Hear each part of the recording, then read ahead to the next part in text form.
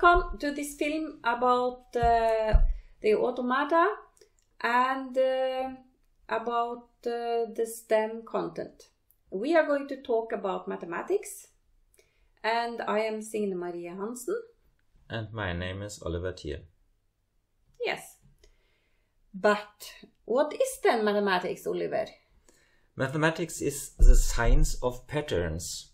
So it's about exploring the world and searching for regularities, patterns uh, that emerge.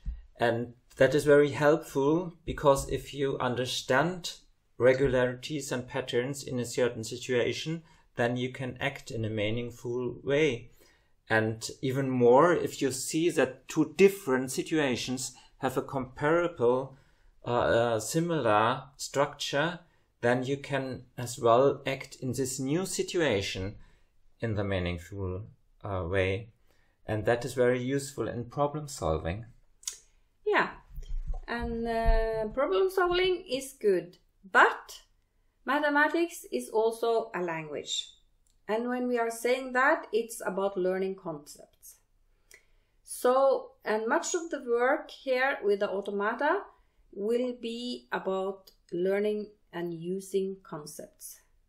Uh, but if we are going to be more specific, what is then the mathematical content here?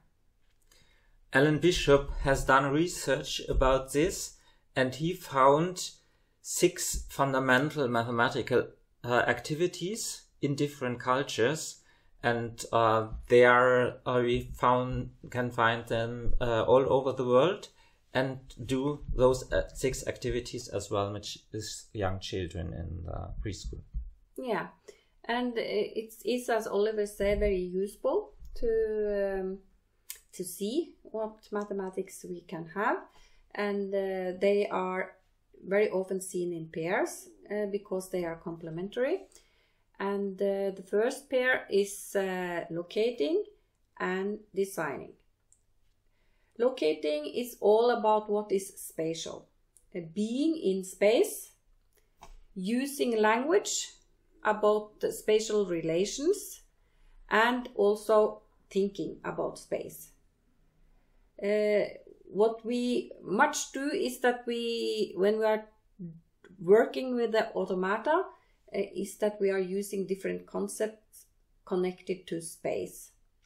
Uh, in addition, uh, when you have designing, it will be about shapes and also about the patterns you can see in what you are doing and the patterns that also can be in the automata. Uh, so we have uh, a combination of working spatial, using spatial concepts, and uh, shapes and patterns. And in addition, uh, numbers play uh, an important role in mathematics. And we have two activities that are related to numbers that is counting and measuring. Counting is about to find out how many I have. Uh, so I can count uh, the fingers, for example, and uh, but I can use counting as well to find a place in a series. Uh, I am the third person in a curve, for example. And uh, we use numbers as well to measure how much I have of, of something and how long something are because uh, there I can count how many units fit in this uh, object I shall measure. But measuring starts much earlier with young children. They start to compare directly. This is longer, this is shorter, this is heavier, this is lighter.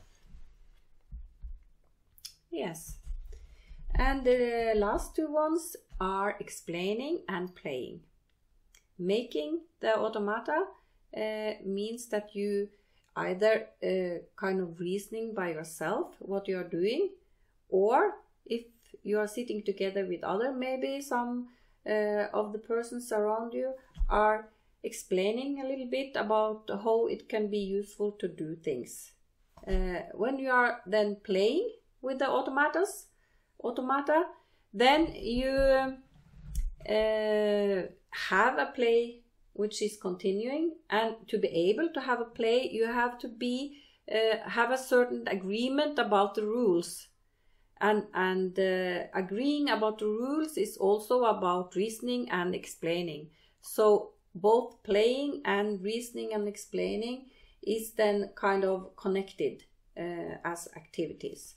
And you have that you uh, can play a play uh, or that you are playing a role play, and both need this uh, uh, common uh, understanding of the situation, or the whole play will collapse and there will be no play.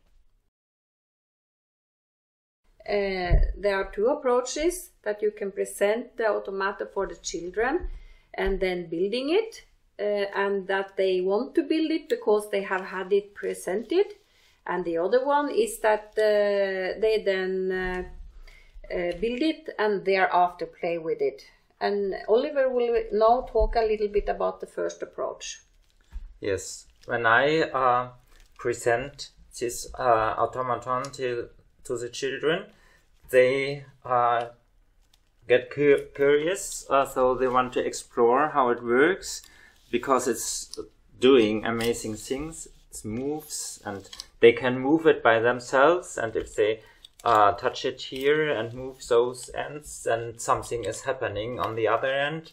Uh, that crocodile gets longer and uh, the mouth shuts and it's, it can bite someone and you can even uh, grab something and lift it if it is not too heavy. yeah.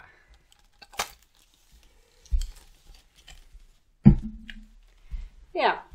And yeah, yeah, you can continue. Yes, and I uh, have another one uh, that has the same uh, mechanism so it has a similar structure, a similar pattern, uh, and the movement is similar as well, but it goes in a different direction. Now it grows, it is a flower that uh, grows. Uh, so a lot of uh, mathematical concepts like uh, up and down and uh, forward and backwards and hold and going through can be. Yes. And then you have all uh, the concepts for the shapes. And they are important when you uh, make the automaton with the children because then they have to look at what shapes do we need. So that is uh, rectangles and we need a specific amount of them. So we have to count one, two, three, one, two, three. So one, two, three, four, five, six rectangles we need. And there are a lot of uh, pins, uh, split pins that you need. Uh, and then you have uh, to make holes for the pins. And hole is a mathematical uh, concept because a hole is something that something else can go through. So the split pin goes through the hole and the holes have to be at uh, certain places. So this one has to be in the center of the rectangle.